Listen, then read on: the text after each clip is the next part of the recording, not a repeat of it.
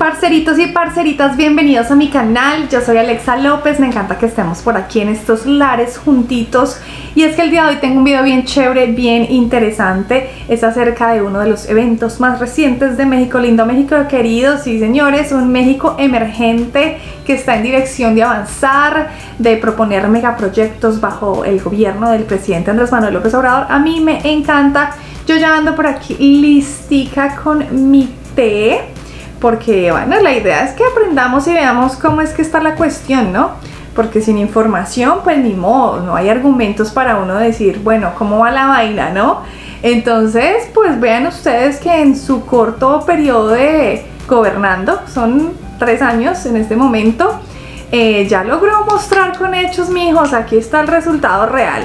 Por ahí ya tengo el otro videito en donde hicieron la inauguración de la apertura de este Aeropuerto Internacional Felipe Ángeles, así que si no lo han ido a ver y quieren chismosear la inauguración, también está aquí en mi canal el video disponible, pero en esta ocasión vamos a ver un video de una youtuber y periodista, ella es Meme Gemel, ella es muy activa en todas estas cuestiones de política y sociales y bueno, en todo en general, em, entonces pues nada, vamos a reaccionar y vamos a ver uno de sus videos en donde ella hace un recorrido en la apertura de este nuevo aeropuerto. Ustedes ya saben, como siempre, acá en el link, acá en la descripción les dejo el link del video original para que vayan y se suscriban al canal de ella y le dejen mucho amor. Recuerden también que pueden seguirme en mis otras redes sociales, a mi TikTok, a mi Facebook, a mi Instagram. Vayan por allá y charlamos un rato. Hoy estoy con saquito, con manga larga porque este clima está muy bipolar. Yo ya me estaba poniendo feliz porque como que mejoró unos días y otra vez volvemos al frío y como que inclusive ya cambiamos de horario y de estación del año y todo y la vaina no quiere mejorar el frío, yo soy muy muy friolenta. Pero bueno, ahora sí, a lo que vinimos vamos y hagámosle.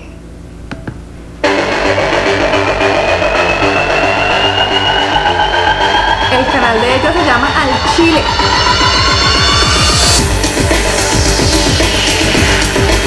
Ya he reaccionado a otro video de ella cuando hice el recorrido del el Museo del Mamut. Amigos, bienvenidos a la primera aventura del 2022 de su segura servieta, o sea, sé yo, me me llamé. Estamos en lo que es todavía la base Santa Lucía, pero lo que en pocos meses se convertirá en el aeropuerto internacional Felipe Ángeles. Atrás de mí, la torre más famosa en México, aunque usted no me lo cree. La han querido hacer pasar que si por la torre de Pisa mexicana, que si está chueca, que si no está chueca. Y bueno, lo que es cierto es que usted lo está viendo con sus propios ojos, la que está chueca es su segura servilleta. La torre de control del aeropuerto internacional Felipe Ángel está más derecha que yo, y eso se lo puedo garantizar. Aquí inicia esta primera aventura que tenemos en 2022. Acompáñenme a recorrer no solamente los baños, las instalaciones de lo que será la terminal de este aeropuerto Felipe Ángeles. ¿Tiene ganas de saber qué hay? No le vaya a cambiar sígame en este tour y en esta aventura de Anchi. Esta aventura comenzó al filo de las 7.30 de la mañana, cuando pedimos el transporte, del cual no diré marcas porque no les vamos a hacer promoción, ¿verdad? La ruta trazada era salir de la Chilecueva, ir al metro Chilpancingo por nuestro productor y lanzarnos a la base aérea de Santa Lucía. El costo por este viaje fue de 399 pesitos con 91 centavos y la duración fue de 57. ¿Cuántos son dólares? Durante el trayecto tomamos parte del circuito exterior mexiquense rumbo a Pachuca la autopista estaba prácticamente despejada y pagamos una caseta de 58 pesos. Pasando la caseta, comenzamos a ver obras de mejoramiento del pavimento. La ruta se empezó a saturar en cuanto pasamos Ojo de Agua y nos acercábamos a Tecámac. En el camino se comienzan a ver algunos señalamientos de la Secretaría de Comunicaciones donde te avisan de las obras de mejoramiento del camino y que te estás acercando a Santa Lucía.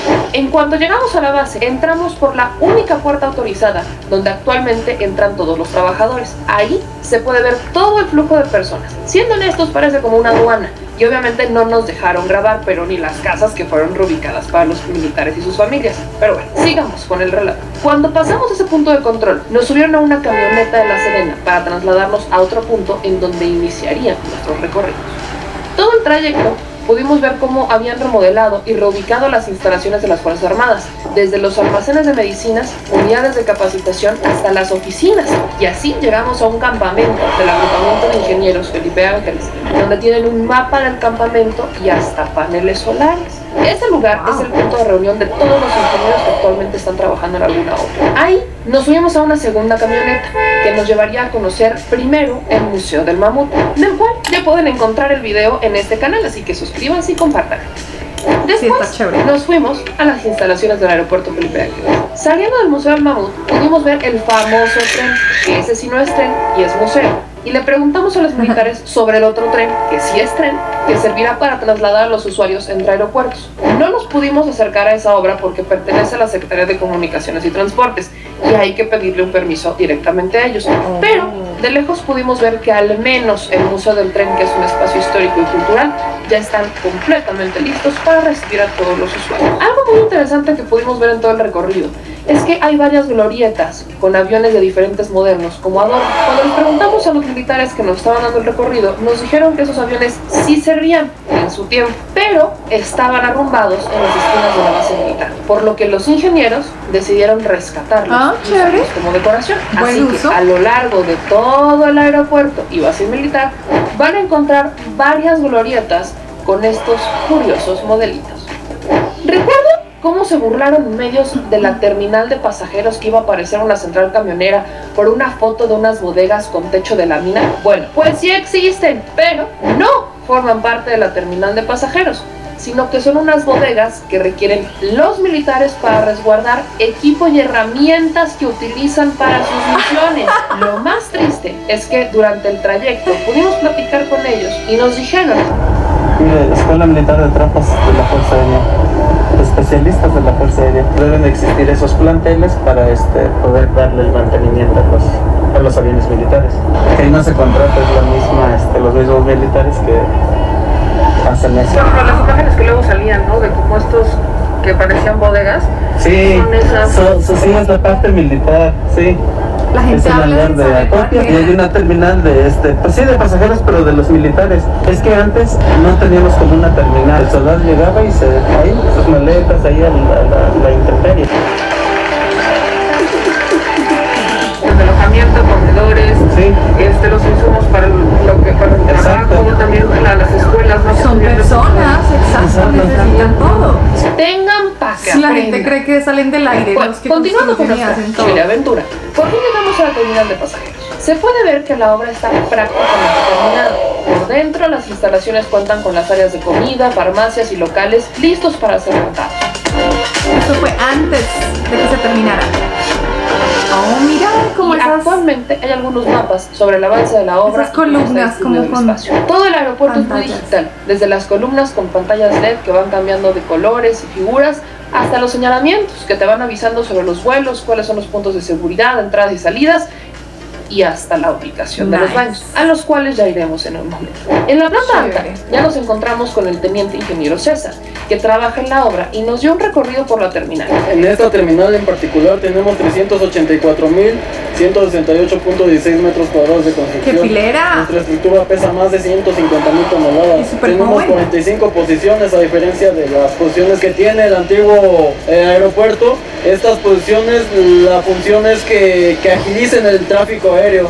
Al inicio de la construcción, en todo el aeropuerto trabajaron más de 130 mil personas. Ahorita actualmente en nuestro frente tenemos 4.732 personas trabajando en este, en este frente nada más. Ahorita ya estamos en la etapa final en acabados, principalmente en detalles. Usted se podrá dar cuenta que tenemos aberturas de cubierta, pero ahí van detalles de cristalería eh, tenemos acabados de plafón principalmente, algunas ducterías de HVAC, es decir, aire acondicionado, a la funcionalidad de las bandas transportadoras, el sistema que le llamamos VHS es el manejo de equipaje, los mostradores de migración eh, son las líneas de inspección con los tomógrafos de seguridad por donde pasará su equipaje y es más, este, ya no necesitarán sacar todas sus cosas ni ustedes este, quitarse, no sé, las piezas que sean metálicas, ¿no? Nuestros tomógrafos son de la más más alta tecnología. Los locales de comercio están diseñados en base a los pueblos mágicos de aquí de México. Y el diseño que se les dio es un diseño homogéneo, es decir que así como los ven ahorita, así se quedarán, o sea, no tendrán puertas. El estacionamiento que tenemos aquí es de 4072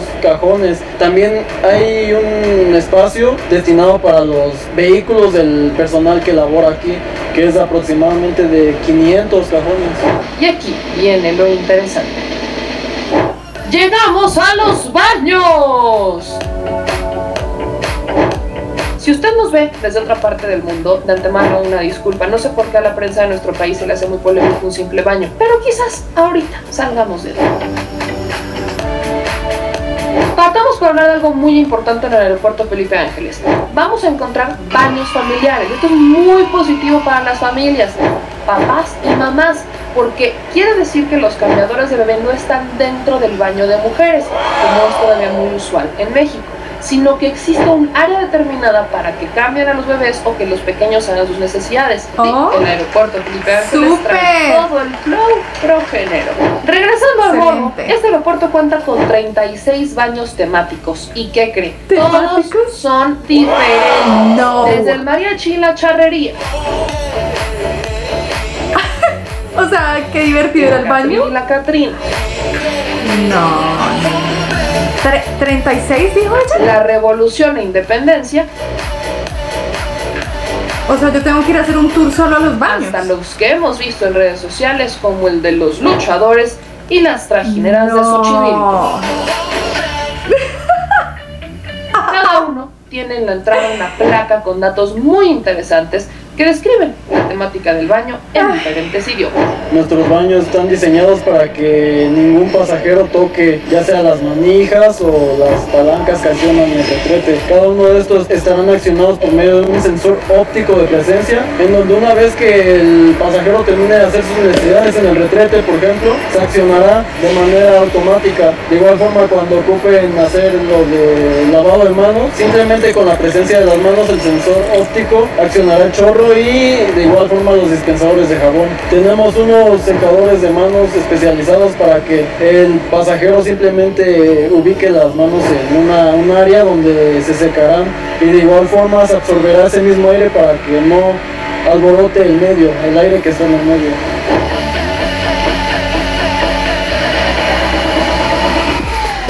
Nuestras salas de espera tienen instalados difusores de aire que permitirán mantener una temperatura adecuada y de igual forma renovar el aire que, que respiramos principalmente por estas nuevas necesidades ¿no? de, de la pandemia. En el centro de la terminal de pasajeros está un enorme calendario azteca, una réplica de la piedra del sol a la mitad exacta de todo el aeropuerto. El último punto que recorrimos es la torre de Pisa mexicana, o sea, la torre de control. Para subir a la torre hay que pedirle permiso al CENEAM, por lo que estuvimos dándole varias vueltas como mayates para corroborar si efectivamente estaba chueco. De tanto que nos mareamos, nos bajamos y por más que le buscamos, lo único que encontramos chueco fue la cámara que tomó la polémica.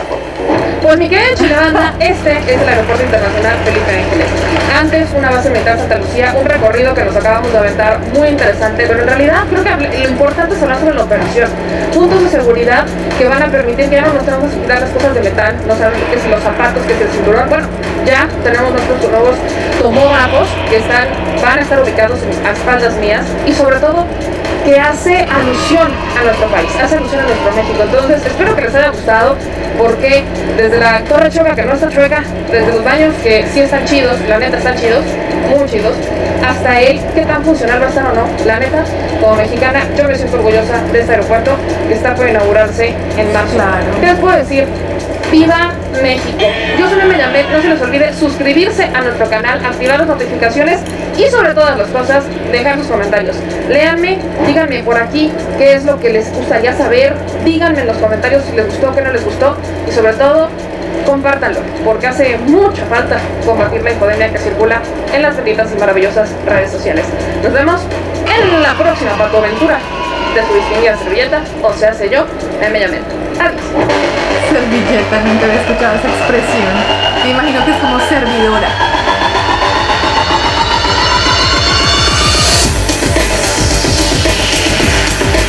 al Chile, Chile, Chile! al Chile porque te dejan picado con la noticia. Bueno, pues gracias al canal de Meme Yamel, al Chile, ustedes ya saben, aquí está el link en la descripción para que vayan directamente al video original y puedan suscribirse y dejar su like por esos lados. Oigan, no, no, no, no, no, no. Esto está a otro nivel. O sea, ya no solamente voy a tener, cuando tenga la oportunidad de ir, ya no solamente voy a tener que ir a los museos que hay disponibles adentro del aeropuerto, sino que también voy a tener que hacer un tour por los baños. o sea, háganme el favor. En serio, o sea, yo creo que va a ser divertido. ¿Quién quiere ir al baño? Yo. Pero no, vayamos a las múltiples opciones que hay para ir a disfrutar del arte en el baño. Muy brutal. Pero no solo eso, no solo eso es la mejor parte, sino toda la tecnología que se ve que tiene, porque todo es como digitalizado, inclusive las columnas que tenía, todo, pues todo en general, ¿no? Se ve como que de última tecnología. Indiscutiblemente los baños, o sea, todo así como que no toquen nada, todo es con sensores. Siéntate ya, no tienes que bajar nada, no tienes que tocar nada, todo es como súper práctico. O sea, para mí eso da mucho que pensar. O sea, si le invirtieron a esas cosas que a veces es como que lo que menos atención le prestan, que es el baño, pero es que para mí yo pienso que un baño es la dignidad de un lugar también. Un baño dice muchísimo de un lugar y si no está bien limpio y si no está bien cuidado y si no le metieron poquito de energía, pues es que a ver, quien no necesita usar el baño, es lógico. Pero no solamente los baños, o sea, ese es apenas uno de los detalles y que obviamente están 100% relacionados con todo lo que conforma la cultura mexicana, así que a mí esa parte me encanta, me parece muy chévere, pero ¿qué me dicen de esas instalaciones extras? que hicieron para, el, para que los militares se acomodaran, los militares em, ingenieros, porque pues a ver, la gente no piensa en que también ellos son seres humanos y tienen pues que tener su espacio, necesitan también acomodarse para arreglar sus equipos o para ellos eh, dormir, no sé, acomodar sus pertenencias, miles de cosas, también comen, también se bañan, también tienen vida y son miles de trabajadores, miles, ahí lo mencionaban, 4.700, algo así, 4.000 casi no sé cuántos más, y que tengan también esas instalaciones, no solamente del aeropuerto como tal, sino también para que esto se acomode. O sea, háganme el favor. o sea, es súper increíble. Y es que yo siento que el hecho de que esa construcción se haya hecho en conjunto con los militares le ha dado eh, a la construcción como tal, como mucha disciplina, como mucho cumplimiento, porque yo siento que honestamente, si se hubiera hecho con las compañías tradicionales de ingeniería y todo eso, siento que a veces salen con excusas, que sí, que no hubo el tiempo, que no alcanzaron, que la gente no llegaba a trabajar, que la gente hacía esto, que no hacía lo otro.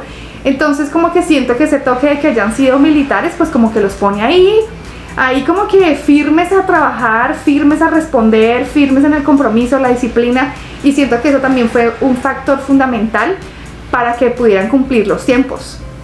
Porque mucha gente decía, no, es que no se va a hacer, no lo van a lograr. Y cuando ya vieron que lo lograron, entonces siempre las excusas, no, es que no tenía esto, no tenía lo, pero ¿qué excusas le van a sacar? O sea, ustedes, los mexicanos, deberían sentirse 100% orgullosos de una obra de estas. Porque mientras si se realizan este tipo de actos en México, en otros países ni por las curvas, algo súper sencillo que llevan prometiendo hace más de 20 o 30 años, como en el caso, por ejemplo, de Bogotá, Colombia, que es la capital, y no tenemos un tren.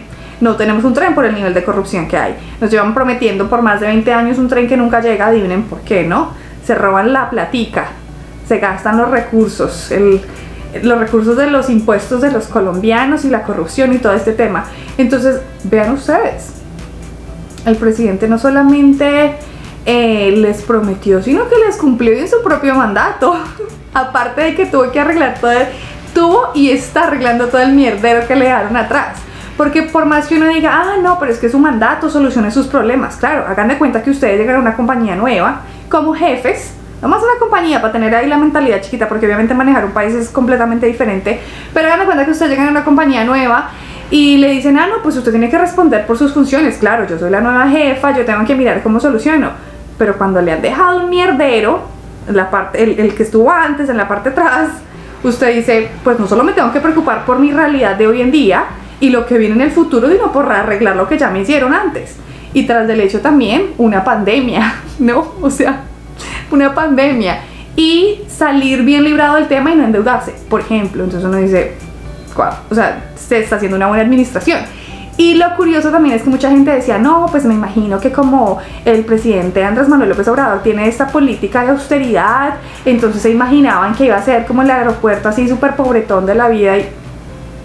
Excuse me, no, no, no, ¿ustedes qué creyeron? La super nueva tecnología y qué me dicen de los escáneres donde van a pasar las cosas, las pertenencias y también las personas como de, eh, no, ya no te tienes que quitar lo metálico, aquí ya tenemos la última tecnología, simplemente pasa.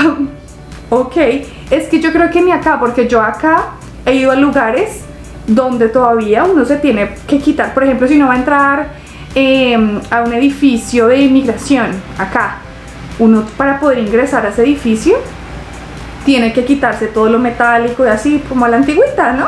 Entonces, y eso que estamos hablando de Estados Unidos, un ejemplo ahí nomás. Pero nada, o sea, me he quedado así como impresionada.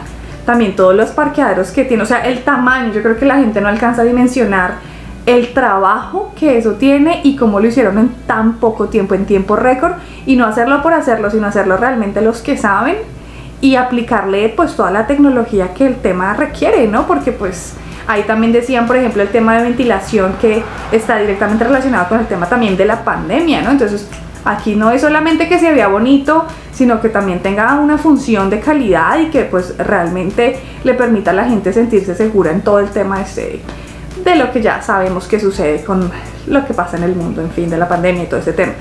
Pero nada, en general me he quedado así como, wow. Además también súper bonito el calendario azteca, chévere, chévere, muy interesante, una gran cultura que rescatar. Obviamente directamente relacionada también con México, aunque empezó más como hacia el Suramérica y ya después se fue desplazando hacia otro lado, también tremenda cultura, y al igual que la maya, así que bien, bien, bien chévere, bien interesante, me encanta que se sigan rescatando todas esas raíces porque pues es que eso es lo importante, ahí es donde se conserva y se puede eh, pasar a las futuras generaciones todos estos legados, así que Felicidades mexicanos y mexicanas, me encanta poder aprender y conocer más. Yo sé que hoy en día ya terminaron, ya lo iré a ver con mis propios ojos cuando las cosas se puedan hacer, pero no sabía esos detallitos adicionales, así que me encantó conocer del tema. Recuerden que si quieren apoyarme es muy fácil, lo único que tienen que hacer es darle un like a este video, suscribirse a mi canal, activar la campanita para que no se pierdan ningún video y quédense muy pendientes porque obviamente voy a seguir... Eh, aprendiendo de este tema de mm, pues del tren Maya también, que es otra mega construcción, de lo que sigue sucediendo con el aeropuerto y bueno, con todos estos avances, al igual que el documental que ustedes me recomendaron de una obra hecha para el pueblo eh, sobre el presidente, sobre el, sí, el presidente también en su legado, pero sobre el aeropuerto, entonces quédense muy pendientes de esa. Eso ha sido todo por esta oportunidad ha llegado el momento de decir mi frase favorita, mi corazón es mexicano, mi sangre colombiana. Y ahí nos vemos en el próximo video. Chaito.